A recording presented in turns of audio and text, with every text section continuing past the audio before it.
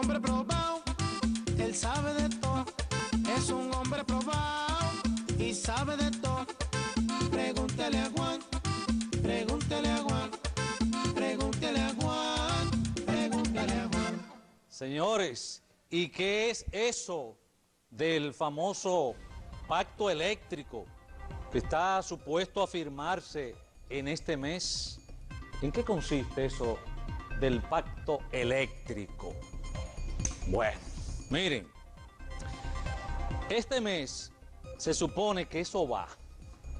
Ok, ahora, el calvario que hemos vivido desde siempre los dominicanos es la terrible crisis del sistema eléctrico en nuestro país, en donde los cortes de energía no dan respiro a los sectores más empobrecidos, con plantas ahí generadoras que nos saquean los bolsillos.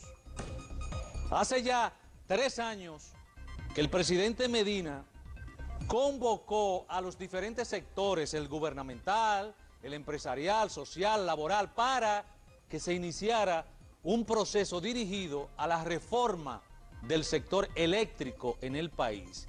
Es el llamado Pacto Eléctrico Nacional. Bien, bien. En este sentido, el ministro de Energías y Minas y miembro del equipo coordinador del Pacto Nacional, Antonio Isa Conde, mostró satisfacción por los avances que había tenido ese consenso.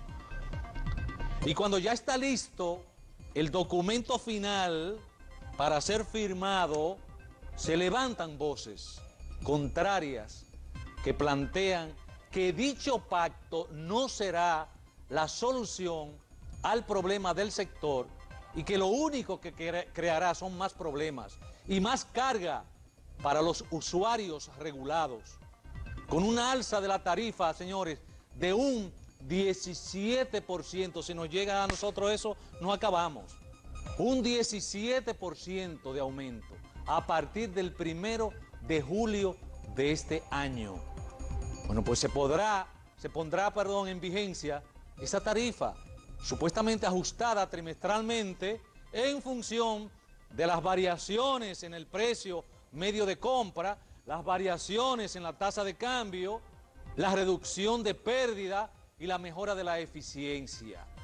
De acuerdo al presidente de la Asociación de Empresas Industriales de Herrera y el Gran Santo Domingo, Antonio Taveras Guzmán, se subirá un 17% de entrada a la tarifa y luego, si tienen éxito en corregir las pérdidas, la irán bajando cada año. Y ahí, ahí es que la puerca de Bartolo retuerce el rabo. Se redacta un documento en donde la población y los medianos y pequeños empresarios pagarán la java de las históricas deficiencias del sector eléctrico. Mientras que la componenda entre políticos y grandes empresarios se echan fresco, se echan, no lo dejé ahí, se echan fresco y se llevan la gran tajada. De igual modo, piensa el experto en el tema eléctrico Milton Morrison, cuando plantea que al aplicar el pacto se va a generar un aumento de la factura eléctrica y los usuarios tendrán que asumir las pérdidas que ha generado el sistema.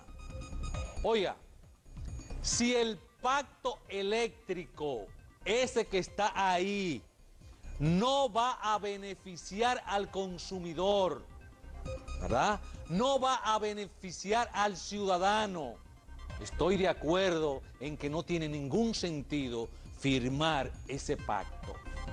Eso es así y no hay de otra.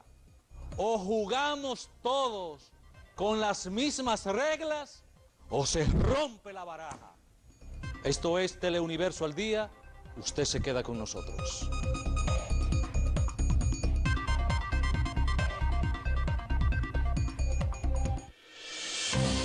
Ya regresamos después de la pausa.